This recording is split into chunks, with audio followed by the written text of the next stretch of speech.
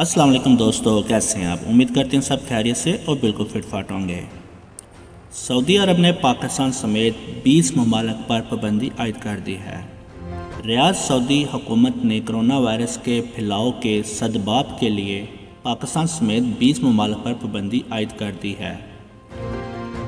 सफारतकारों, डॉक्टरों और इनके अहल खाना को मुतसन्ना करार दिया गया है। ज़राए से मिलने वाली इतला के मुताबिक सऊदी हुकूमत की जानब से पाकिस्तान समेत 20 ममालिक के मुसाफरों पर पाबंदी आयद कर दी गई है, जिसका इतलाक़ कल तीन फरवरी से शुरू होगा। ज़राए के मुताबिक आर्जी पाबंदियाँ पाकिस्तान समेत 20 ममालक पर आयद कर दी गई हैं, जिसके तहत मुस्करा ममालिक शहरीों की आमदोरफ़त मअतल रहेगी। जबकि सफारतकारों, डॉक्टरों और इनके अहल खाना को इस पाबंदी से मुतसन्ना करार दिया गया है? सऊदी मीडिया के मुताबिक जिन ममालक पर पाबंदी आयद की गई है, इनमें मुतद अरब अमरात, Germany, America, Indonesia, Italy, Brazil, बरतानिया, तुर्की, जनूबी अफ्रीका, फ्रांस, लिबनान, मिस्र, भारत, जापान और डेगर ममालक शामिल हैं।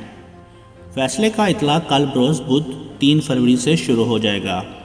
सऊदी वजार दाखिला ने अपने एक बयान में कहा है कि अगर किसी और मुल्क के बशिंदे ममालकत आने से चौदह दिन के अंदर मुस्करा ममालक में से किसी एक मुल्क में गए या गुजरे होंगे, इन्हें भी सऊदी अरब आने की इजाज़त नहीं होगी।